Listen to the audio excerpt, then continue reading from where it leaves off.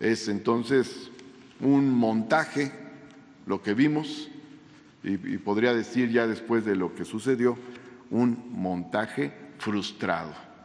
Eh, nosotros obviamente respetamos la labor, la auténtica, la de quienes eh, eh, trabajan por encontrar a personas desaparecidas, pero en este caso, lamentablemente, podemos asegurar que se buscó lucrar políticamente con el dolor humano y con una causa justa, lamentablemente.